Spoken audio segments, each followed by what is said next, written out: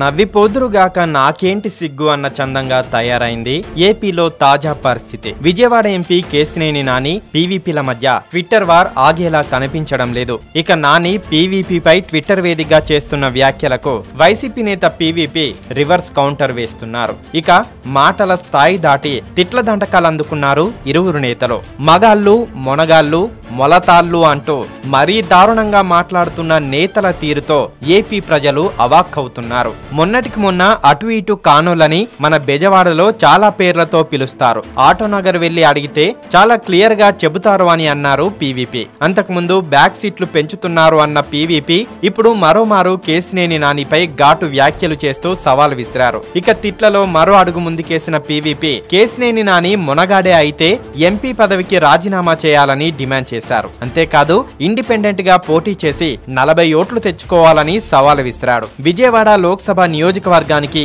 YSR Congress party అభ్యర్థిగా పోటీ చేసి ఓటమి పాలైన పీవీపీ వరప్రసాద్ చేసిన ఈ సవాల్ ఇప్పుడు రాజకీయ వర్గాల్లో చర్చనీయాంశమవుతోంది. తన ట్విట్టర్ ఖాతాలో ట్వీట్లు పెడుతూ పీవీపీ నాలుగు ఓట్లు తెచ్చుకోలేవని అనడం కాదు. మొనగాడివి మొలతాడు కట్టినవాడివే అయితే రాజీనామా చేసి ఇండిపెండెంట్గా నలభై ఓట్లు తెచ్చుకొని మాట్లాడు భయ్యా అని సవాల్ చేశారు. ఇక తానేమి తక్కువ కాదన్నట్టు డోస్ పెంచి మరీ పోస్టులు పెడుతున్న కేసినేని నాని పీవీపీ తాజా పోస్ట్ పై ఎలాంటి ఘాటు రిప్లై ఇస్తారో అని అందరూ ఆసక్తిగా చూస్తున్నారు. ఏపీలో తాజాగా పార్టీల పరిస్థితి పాలనపై దృష్టి కంటే ఇప్పుడు ఎక్కువగా సోషల్ మీడియా వార్ పైన చర్చ జరుగుతోంది. ఇక వీళ్ళు పెడుతున్న పోస్టులకు నెటిజన్లు కూడా తమదైన స్టైల్లో సమాధానమిస్తున్నారు. ఎవరి అభిప్రాయం వాళ్ళు చెప్తున్నారు. బయట కూడా రచ్చ చేస్తున్నారు.